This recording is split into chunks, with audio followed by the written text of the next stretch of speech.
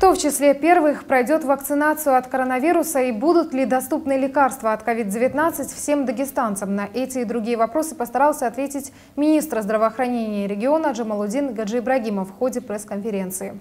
Впервые после вспышки вируса руководитель ведомства рассказал о пережитом медицинским сообществом сложном периоде. Министр признал, что был целый ряд проблем, и порой только храбрости и профессионализма врачей не хватало. Запасы лекарственных препаратов практически сразу в начале эпидемии были исчерпаны, а некоторых больных приходилось лечить прямо в коридоре.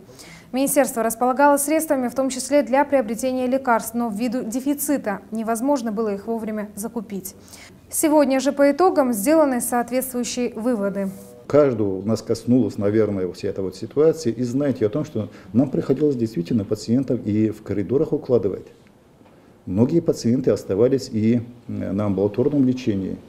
На сегодняшний день, имея вот этот вот опыт, мы смогли создать запас лекарственных препаратов э, по 56 наименованиям, и в том числе вот э, часто даже не зная о том, что назначено ли э, пациенту, есть ли показания к назначению. Очень часто любят э, там, говорить, вот вы знаете, вот у нас там родственник лежит, там ему актембра нужна. И по данному препарату у нас созданы резервы на 71,7 миллионов рублей.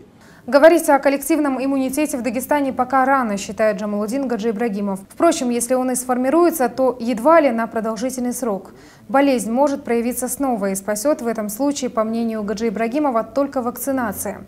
Министр уже решил, что и сам в числе первых пройдет ее в начале октября.